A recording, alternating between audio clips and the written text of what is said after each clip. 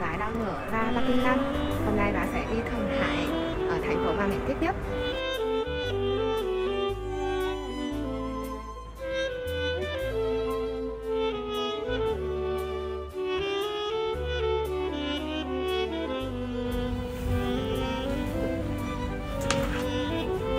Từ Bắc Kinh đến Thượng Hải là hơn 1.300 km, đi bằng tàu cao tốc, nhanh nhất chỉ cần mất hơn 4 tiếng.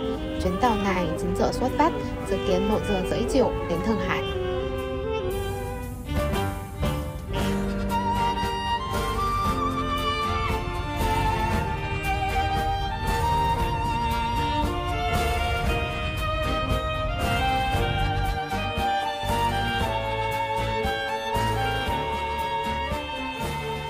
Later.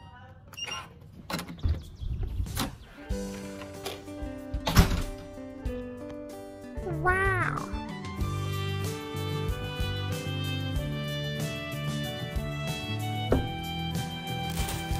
Đây chính là linh vật của Hội trợ nhập khẩu quốc tế Trung Quốc. Là một chú gấu mèo. À, và trong túi này đều là những món quà đến từ ban tổ chức của Hội trợ nhập khẩu quốc tế lần này. Chúng ta hãy xem có những đồ gì nhé.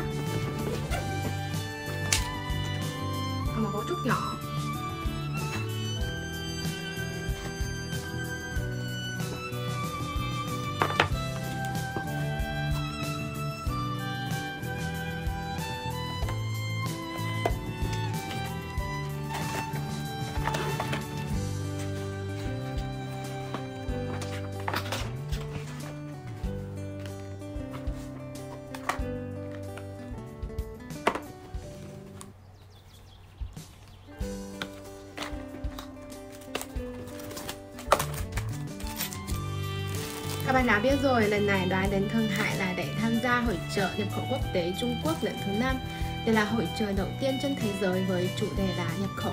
Ờ, từ năm 2018 đến nay đã tổ chức 5 lần rồi. Ờ, hội trợ nhập khẩu năm nay diễn ra từ ngày 5 ờ, đến ngày 10 tháng 11 Trong vòng 6 ngày này, các doanh nghiệp lớn trên thế giới đều hội tụ tại Thượng Hải để giới thiệu sản phẩm hàng đầu của họ cố gắng biến độ trưng bày thành hàng hóa biến việc tham gia hội trợ thành cơ hội đầu tư đối với các doanh nghiệp nước ngoài ở thị trường Trung Quốc với dân số 1,4 tỷ người là cơ hội không thể bỏ qua.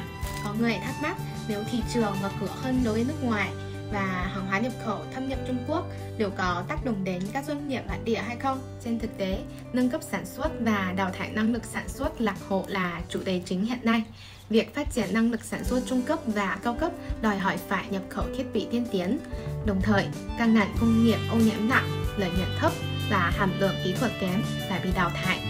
Điều này buộc các doanh nghiệp bản địa phải nâng cấp và chuyển đổi mô hình khi đối mặt với sự cạnh tranh đến từ nước ngoài. Ngoài ra, đối với người dân bình thường, hàng hóa nhập khẩu sẽ phong phú hơn, rẻ hơn. Vlog hôm nay đến đây là hết. Giá sẽ tiếp tục cập nhật về tình hình hội trợ nhập khẩu quốc tế lần này. Ờ, hoan nghênh các bạn tiếp tục theo dõi trong Facebook của Giá. Hẹn gặp lại các bạn.